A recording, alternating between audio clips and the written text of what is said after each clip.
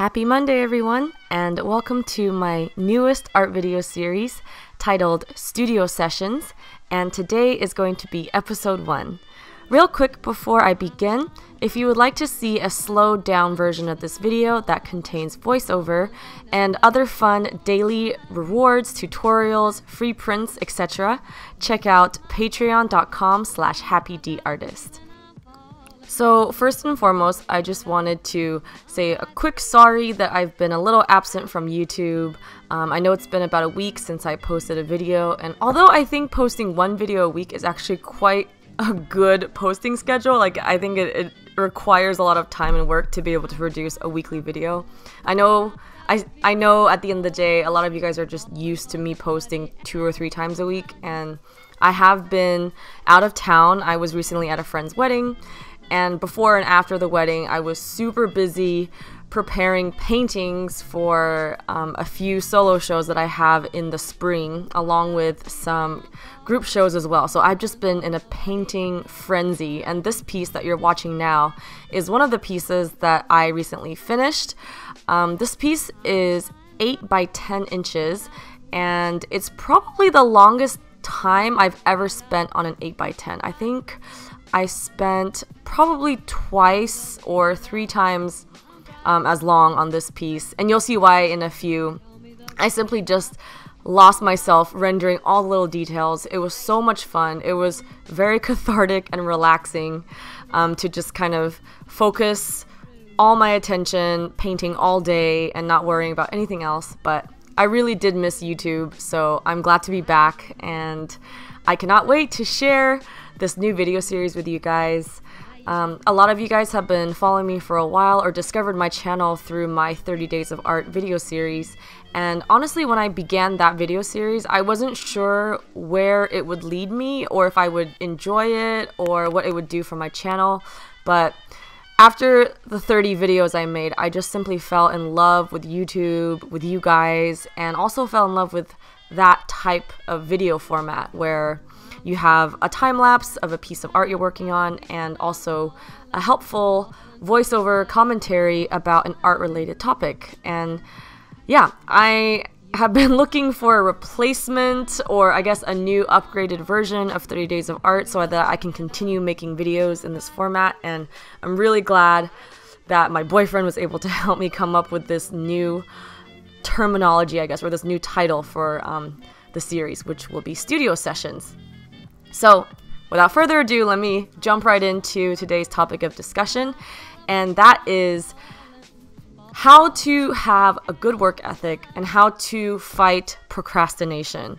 Um, so many of you have requested this, and although I don't think I'm like the most qualified life coach or time management uh, guru, um, recently I have had to practice really good time management and really up my work ethic and also resist the temptation to procrastinate.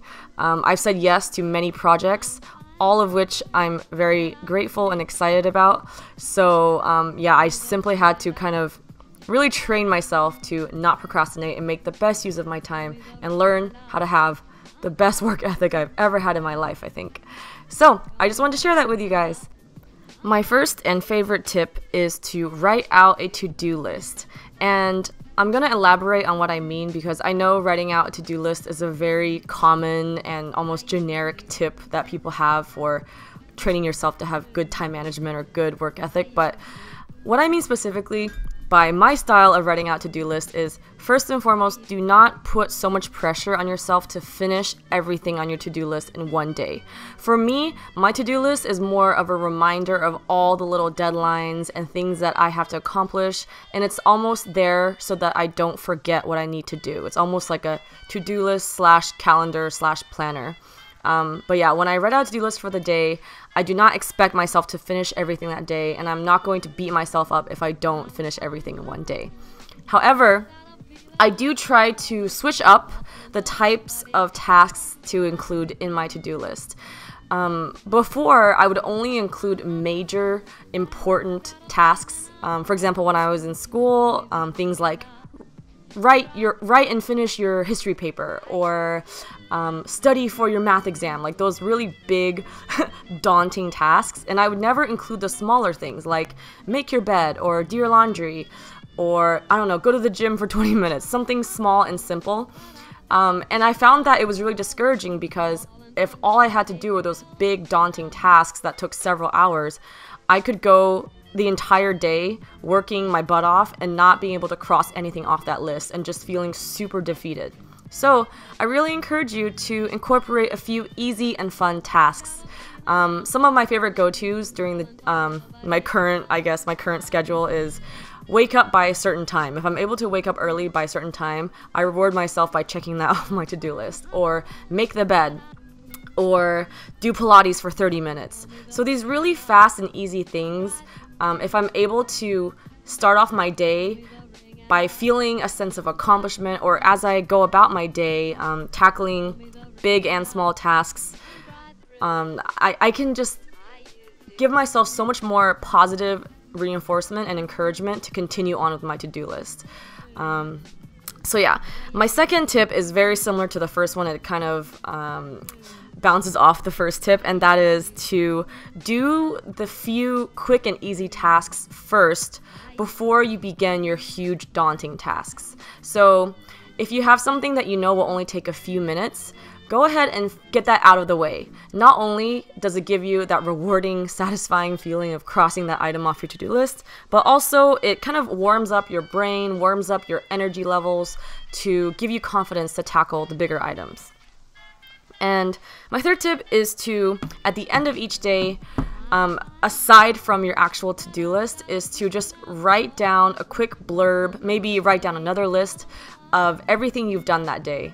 For me, it's just a way for me to kind of recap and also to give myself the reassurance that my day wasn't wasted. I think a lot of times for those of us who get really busy, whether you're working or you're a student, um, if you get super busy and you spend all day running around trying to finish this and that, you forget that you've actually accomplished a lot because if you go to sleep and you feel like you haven't completed something but you've spent several hours on the project um, you almost forget that like yes even though you didn't finish the thing you wanted to do you still invested time into it and you still should be proud of yourself and reward yourself for um, taking the steps closer to being finished. So that's why at the end of each day, I always write down what I did. If I didn't finish a project, I'll at least talk about how many hours I spent on it and the progress I made on it.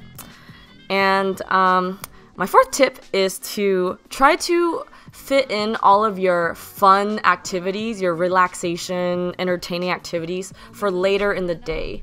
And um, do all of your actual tasks towards the beginning of the day in the morning. And my, I mean, obviously everyone's patterns are different, but for me personally, the reason why I choose to do this is because regardless if I spent the whole day working hard, or if I spent the whole day having fun, or spent the whole day, you know, procrastinating on the computer, um, regardless of what I do, at the end of each day, I always feel a lot more tired than in the morning. In the morning, if I've gotten up and gotten a good night's sleep and had my coffee, I am so energetic and pumped and ready to tackle whatever, you know, uh, obstacle or goal that comes my way. But at the evening, all I want to do is relax. So, my recommendation is to just get your boring or energy consuming tasks out of the way in the morning. And my fifth and final tip is something that my boyfriend gave me, and I love this tip, and that is to physically and literally remove all of your distractions. So, if you like to play on your phone a lot or you like to spend a lot of time chatting with your friends, um, just physically put your phone in another room, lock your phone up, or tell, I don't know, give your phone to your mom, tell her to hide it until a certain time. And then that way, it really forces you to concentrate on whatever project you're working on. And yeah, especially if it's a huge hassle to try to find your phone or try to find whatever distracting thing that you were hiding. If it's a huge hassle to do that, you will be way less encouraged to um, fall back into the trap of always feeling distracted. So yeah, I hope you guys found this list useful. Um, feel free to write down in the comments below any tips that you have for combating procrastination. I'd love to hear it. And lastly, if you would like prints of this piece, I have them available at happyd-artist.com. I will catch you guys in the next video. Bye!